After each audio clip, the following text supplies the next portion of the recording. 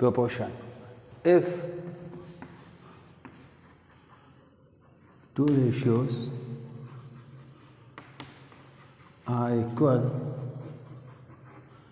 then they are said to be in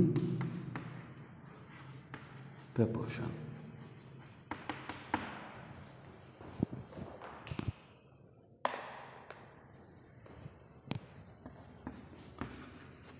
Four numbers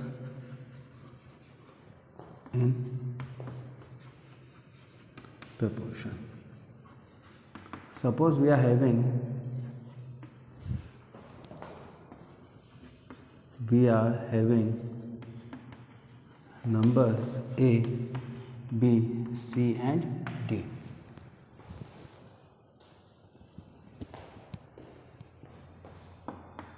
If they are in proportion, then A is to B is equal to C is to D or we can say A upon B is equal to C upon D.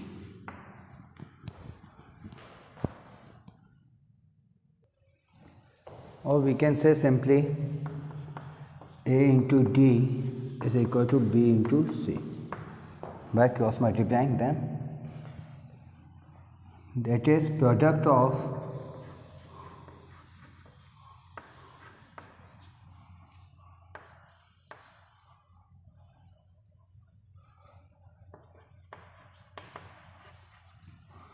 extreme is equal to product of mean.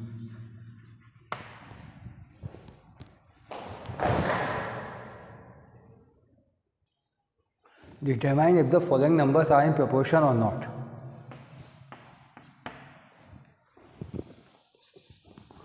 For proportion, product of extremes should be equal to the product of means. So here extreme terms are 4 and 12. 4 into 12 should be equal to 6 into 8. This is 48 and this is also 48. So hence they are in proportion.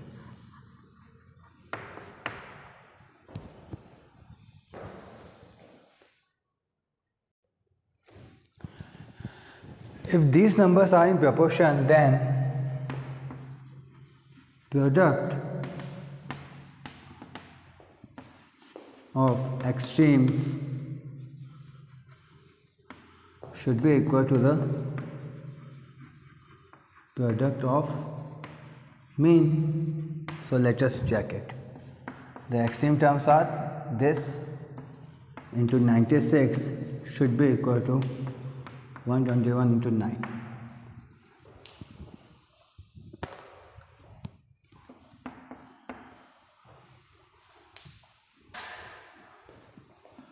Three one six eight one zero eight nine. Since they both are not equal, here product of extreme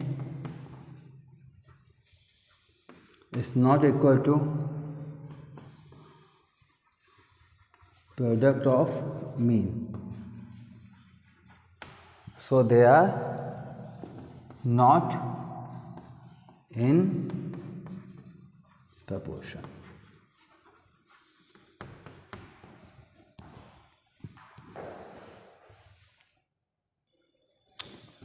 Verify 60 is to 105 is equal to 84 is to 147. If they are in proportion then 60 upon 105 should be equal to 84 upon 147 when we cross multiply we got 60 multiplied by 147 is equal to 105 multiplied by 84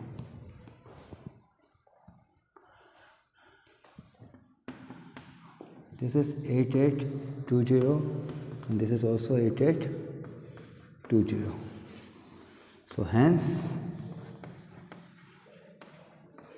they are in proportion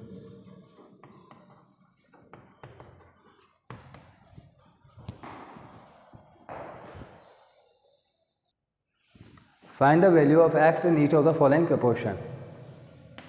This can be written as 55 upon 11 is equal to x upon 6. This becomes 5. 5 upon 1 is equal to x upon 6. So we can say the value of x is 5 multiplied by 6 it is 30.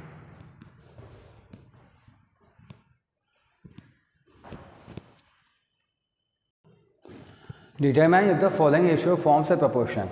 First one, 25 centimeter is to 1 meter and we have to compare with rupees 40 is to rupees 160.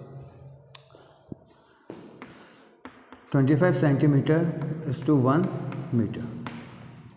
Since 1 meter is equal to 100 centimeter, so it can be written as 25 centimeter as 100 centimeter ratio to it. So this become 25 centimeter divided by 100 centimeter. It becomes 1 upon 4. When we compare this, rupees 40 is to rupees 160.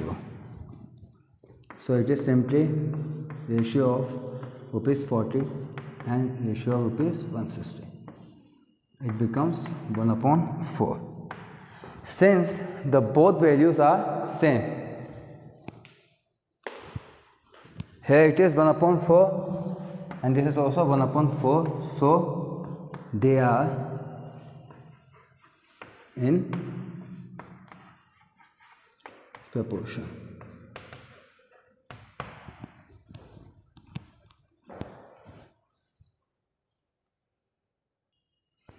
In a proportion, the first, second, and fourth terms are 51, 68, and 108 respectively. Find the third term. Let the third term be x. So it can be written as 51 is to 68 is equal to x is to 108. This can be written as 51 upon 68 is equal to x upon 108.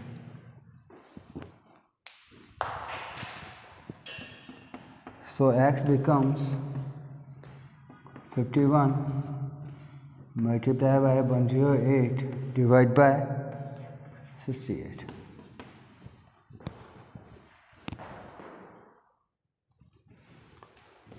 So it becomes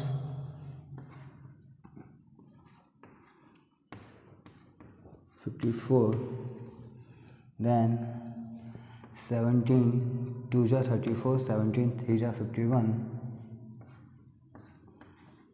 twenty-seven. Three multiplied by twenty-seven, it is eighty-one answer.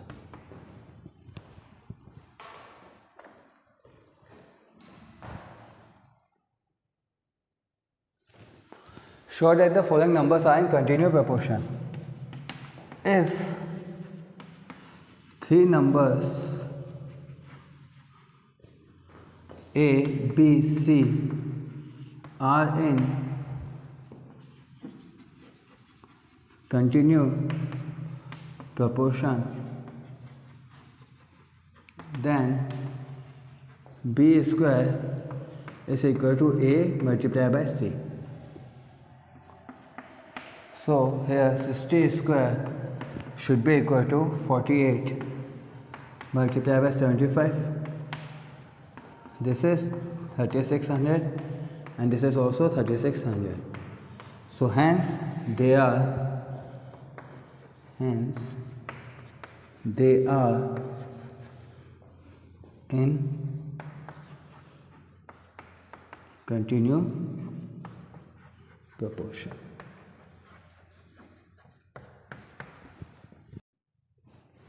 If 9x, x 49 are in proportion, find the value of x.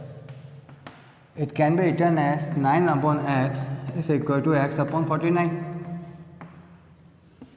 So we can write 9 into 49 is equal to x into x.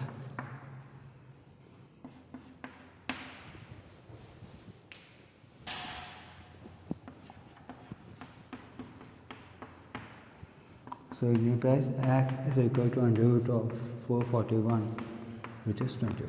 This is the answer.